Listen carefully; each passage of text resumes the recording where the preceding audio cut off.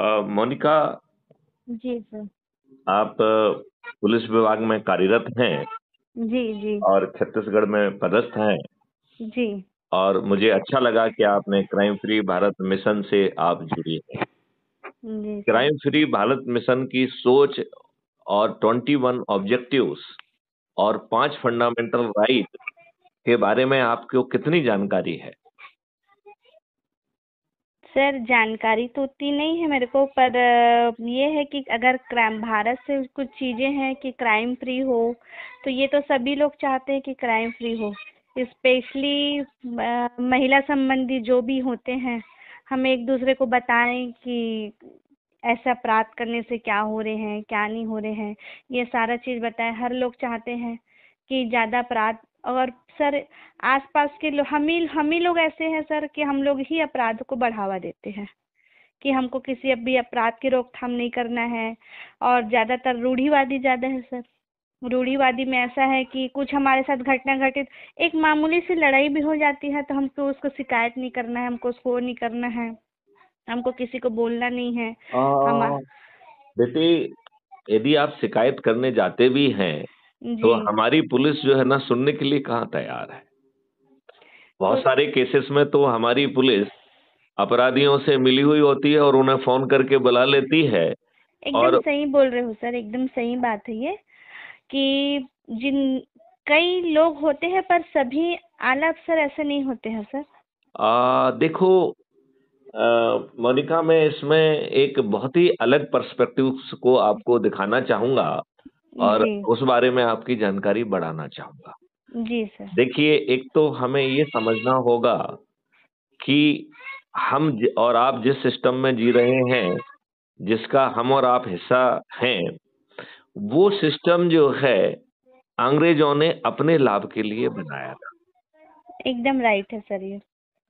उसे संगे असंगे और सिविल ऑफेंस में बांटा और इतनी जटिल प्रक्रिया बनाई जिससे भारतीय भारतीय जो है उस प्रक्रिया में उलझे रहें और उन्हें अंग्रेज़ी साम्राज्य के विरुद्ध खड़े होने की उनकी हिम्मत और ताकत टूट जाए।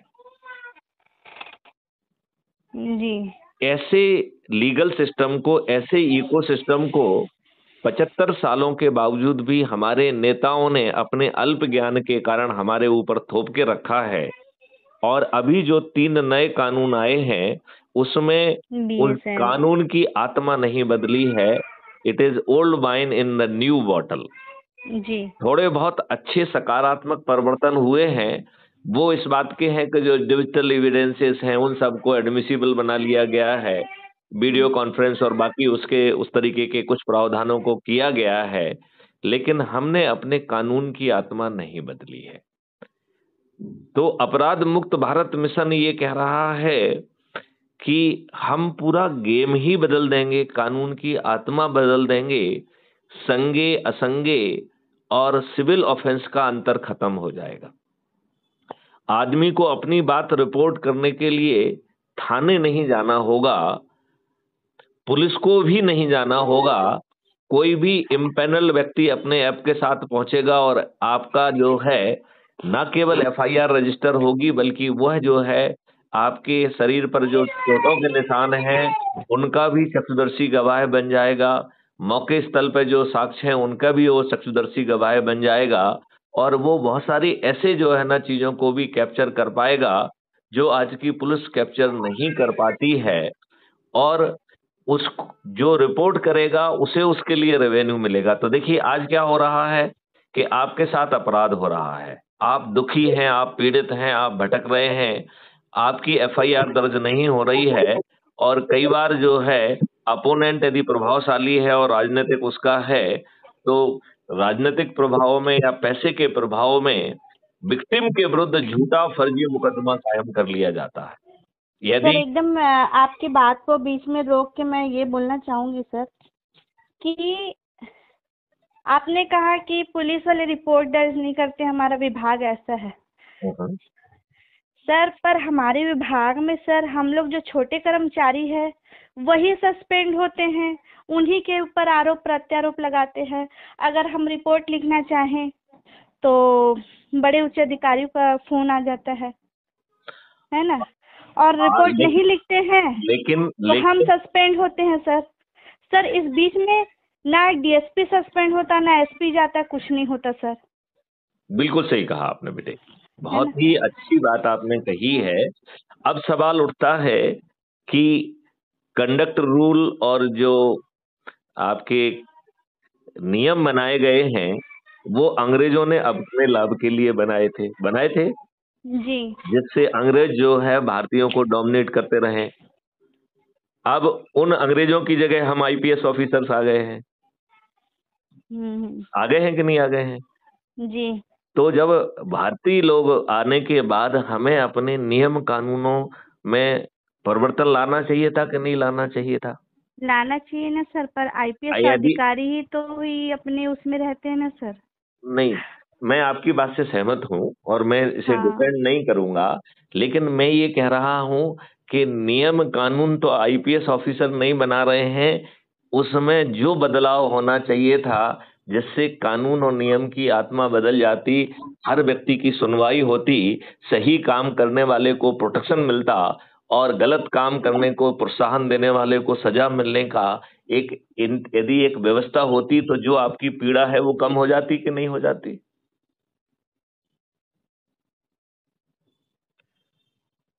आपको मेरी बात समझ आई है कि यदि हम व्यवस्था नहीं नहीं सर देखिए व्यवस्था ऐसी है सर पहले जो चलता था एक स्टेप बाय स्टेप अधिकारी आते थे।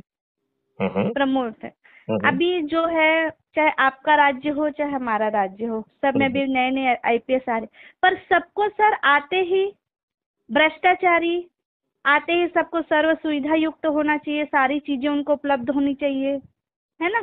तो वो सारा चीज़ उपलब्ध कराने के चक्कर में जो पीसते हैं वो बेचारे नीचे कर्मचारी पीसते हैं। मतलब छो, छोटा सा भी फ़ंक्शन होगा तो उसमें भी ये कर्मचारी पीसते हैं। तो सर अपराधों को तो बढ़ावा कहीं ना कहीं बिल्कुल ठीक कह रहे हैं आप। बिल्कुल आप सही कह रहे हैं और मैं आपकी झिझक को भी समझ पा रहा हूँ। जो आप नहीं कह पा रही हैं मैं उसे भी समझ पा रहा हूँ। मैं सर मैं अपनी बात आपको आज खुल के बोल रही हूँ। मेरे साथ सर 2009 में एक हादसा हो गया था। जी। उसमें सर नहाते हुए मेरा किसी ने वीडियो बना दिया था। जी। तो उस वीडियो में सर मेरे उस समय मैं स्पोर्ट्स में थी मैं कबड्डी की नेशनल प्लेयर हूँ और मेरा मेडल भी है पुलिस टीम से छत्तीसगढ़ पुलिस से मेडल भी है। जी।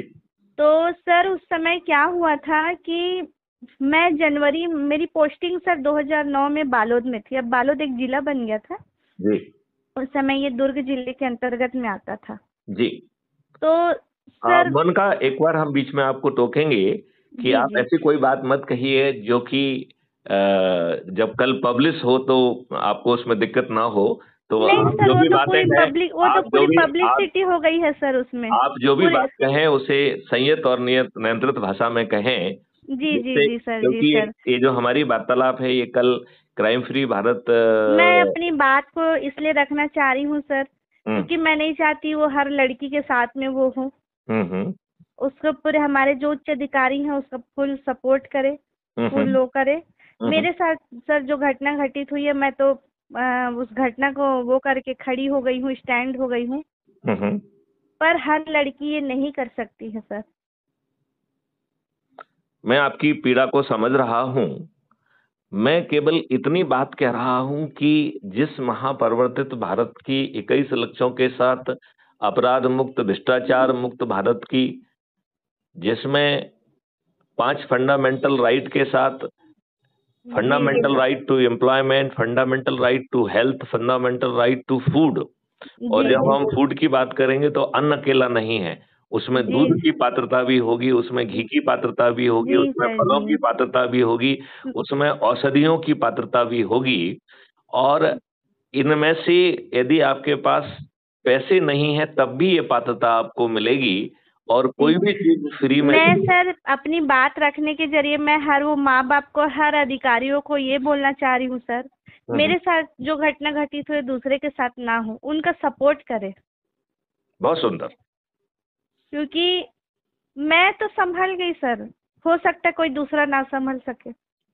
मैं तो संभाल मैं स्टैंड होके मैं फिर से नौकरी कर रही हूँ फिर से अच्छी जगह पे हूँ। वो तो मैं आज भी सर बहुत शुक्रगुजार करती हूँ ओपी पाल सर का जो उस समय दुर्ग एसपी थे। हम्म, हम्म। सर मेरे साथ जो 2009 में घटना घटित हुई थी उस समय व्हाट्सएप वगैरह का जमाना नहीं था। तो किसी ने नहाते हुए वीडियो बना दिया था। फिर उसके बाद मेरे को फ़ोन मेरे को झूठ बोल के लाइन भेजा गया कि तुम्हारा तुमको बुला रहे हैं ऐसा करके। सर क्या एक लड़की अगर किसी के साथ बाइक में बैठ गई घूम ली तो क्या सर उसके करेक्टर को उंगली उठाया जाता है? नहीं बिल्कुल नहीं। सर अगर मैं सैंडो बनियान पहन रही हूँ तो क्या वो लड़के ही पहन सकते हैं? लड़के नहीं पहन सकते? अपने निजी समय में मर्यादा का ध्यान रखते हुए हर को अपने इच्छा के हिसाब से वस्त्र पहनने की स्वतंत्रता है। लेकिन आ, कोई गलत संदेश ना जाए ये भी जिम्मेवारी बनती है। जी। तो सर ये गलत संदेश अच्छा भला हम तो उस समय नए नए थे सर हमको आ, नौकरी का उतना ज्ञान नहीं था ना ही हम आ, किसी प्रकार के कानून के बारे में क खगर जानते थे। तो उन्होंने मुझे भेजा फिर थोड़े दिन बाद मेरे को फ़ोन आया। आ, मैं अप्रैल से वापस आ गई थी सर। अगस्त माह में मुझे फ़ोन आया कि मैं तुम्हारा ऐसा सा वीडियो बना हुआ है तुम सीख लेके घर पे रहो। तुम बाहर मत निकलो। तो मैंने मैंने कहा मैंने तो किसी भी प्रकार का वीडियो नहीं बनवाया है। ना मेरा किसी से साथ में कुछ ऐसा संबंध रहा है कि मैं ऐसा वीडियो बना पाऊँ। तो उन्होंने कहा कि नहीं आपका है हमारे आ रही साहब थे उस समय। तो फिर मैंने अपने घर पे चर्चा करी कि भाई ऐसी ऐसी बात है तो मेरे घर वालों ने मुझे घर से बाहर निक बाहर निकाल दिया। घर से बाहर निकाल दिया। और आ, क्या बोलते हैं तुम जाओ वहाँ पे वो करो। मेरे फैमिली पूरे मेंबर्स थे जितने मुझे बिल्कुल एकदम छोड़ दिए। ओके उन्होंने आपका साथ नहीं दिया? नहीं दिया। सर इसका फ़ायदा दूसरे उठाए मेरे अननोन नंबर से मेरे को कॉल आता था।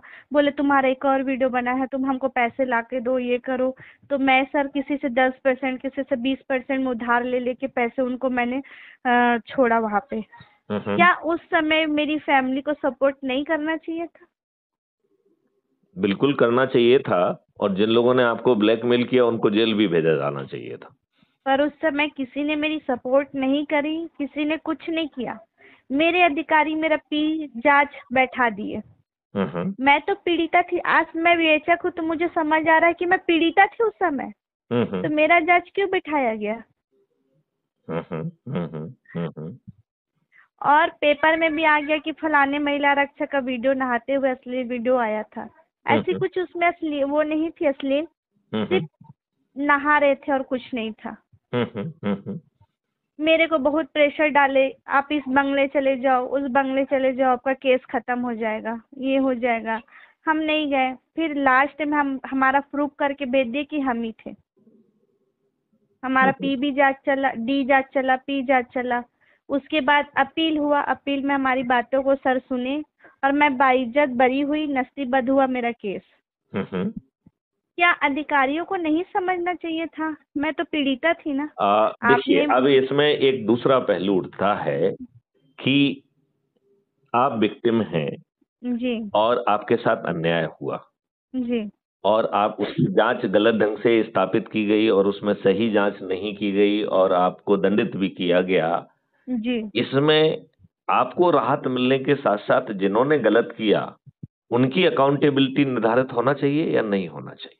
बिल्कुल होना चाहिए था सर। तो क्या नियम कानून में इसका प्रावधान नहीं होना चाहिए कि यदि आप गलत जाँच करेंगे तो दंड के भागीदार भी होंगे और पीड़िता को आपको कंपनसेशन भी देना होगा और वो भी अपनी जेब से देना होगा? ये नियमों में प्रावधान कौन करेगा?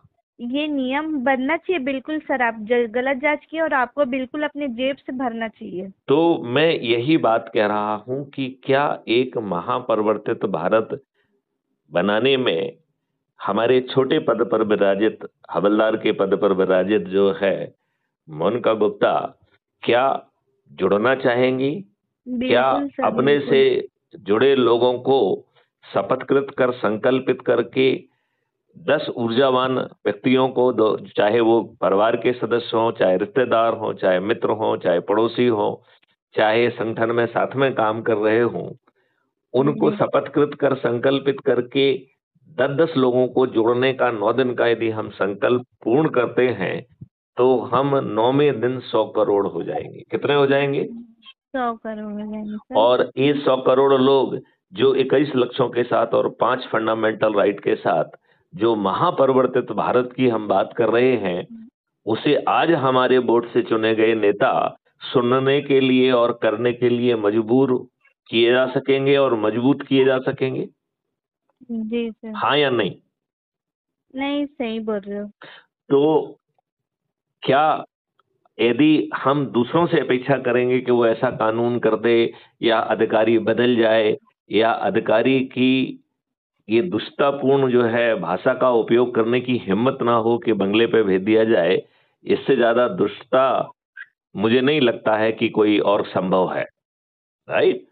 तो इसका बदले हुआ भारत जिसमें हर किसी को जो है अपराध मुक्त भारत मिले भ्रष्टाचार मुक्त भारत मिले जिसमें जो है ना टैक्स मुक्त भारत भी मिल जाए कर्ज मुक्त भारत भी मिल जाए ऐसा भारत यदि संभव है और नौ दिन के सरल उपाय से संभव है तो आपको नहीं लगता है कि हमें ऐसे सरल उपाय के तहत हम जो कर रहे हैं वो अपना करते रहें? इस प्रक्रिया में भी दस मिनट पंद्रह मिनट यदि हम देंगे तो नौ दिन में ये महाचमत्कार हो सकेगा। और आज हमारे बोर्ड के चुने हुए नेता हमें ऐसा महापरिवर्तित भारत देने के लिए विवश हो इसमें हमारी जाति, हमारा धर्म, हमारा संप्रदाय, हमारी राजनीतिक प्रतिबद्धता बाधा नहीं बनेगी। हम जो भी सोच कर रख रहे हैं, जो भी चिंतन कर रहे हैं, जो भी क्रियाकलाप कर रहे हैं, उसमें